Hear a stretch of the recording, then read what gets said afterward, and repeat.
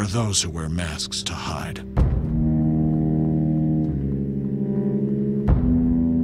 And those who wear masks to show us what they stand for.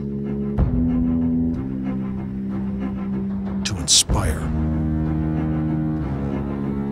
To unite. To defy.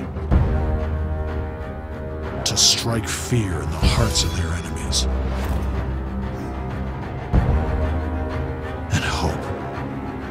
Hearts of their followers. There are those who wear masks to protect themselves. And there are those who wear masks to protect us all.